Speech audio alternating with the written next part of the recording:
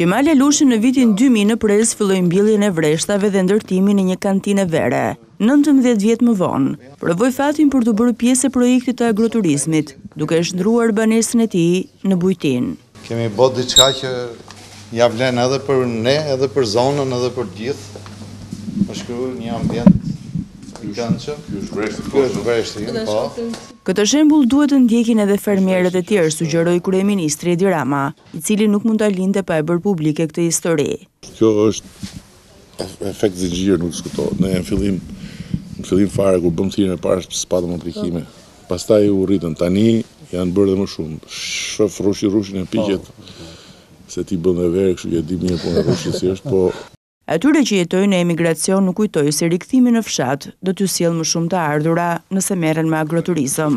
Po shohim që ka gjithmonë e më shumë kërkesa edhe faktikisht llogaria është shumë e thjeshtë edhe për ata që janë në emigracion. dhe që kanë një shpi n'fshat të prindërve apo kanë një tokë. Nëse ndërtojnë agroturizëm, ka më shumë të ardhura se sa çdo rrogë në emigracion. Edhe pavarësisht se vijnë nuk vijnë, nëse ata vendosin një pjesë të ardhurave të tyre me një projekt mirë ne mbështesim pjesën tjetër.